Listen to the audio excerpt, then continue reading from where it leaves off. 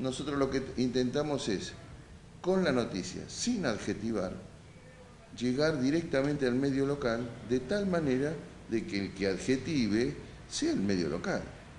O sea, que tenga la prioridad de ser el medio local el que le dé el enfoque propio de ese medio o de su perfil.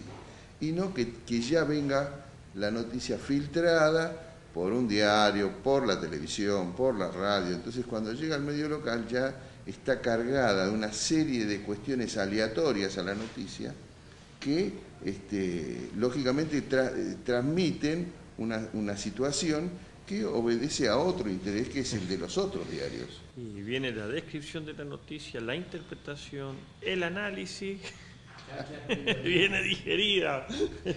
en ese sentido, eh, nosotros lo notamos.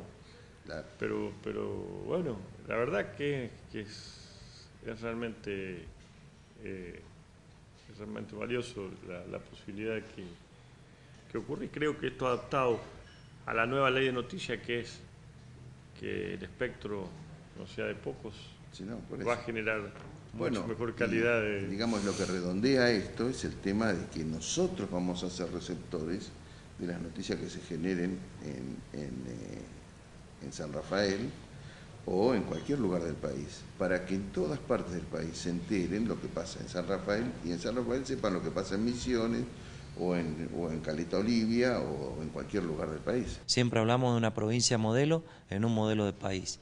Y eso tiene que ver con informar y comunicar de manera democrática a toda la población.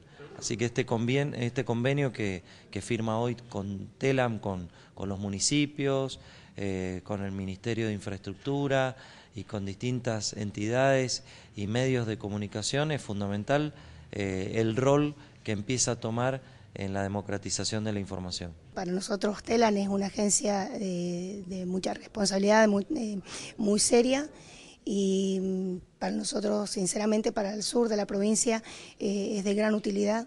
Eh, el, que, el que nos hayan tenido en cuenta también y poder ser parte de esta red de noticias a nivel nacional. Creemos que mm, hay un tiempo nuevo en la Argentina, donde bueno, la información eh, puede estar eh, de una manera rápida y concisa en todos los medios masivos, eh, especialmente del interior, que nosotros desde el interior, lugares alejados de las grandes capitales, podamos tener la información. Y bueno, Telan para nosotros yo creo que toda esta propuesta que vienen a hacer eh, va a venir a cubrir un espacio que hasta ahora está un poco eh, solo. Esto es eh, muy importante justamente para la profundización de una democracia, es súper importante y necesario.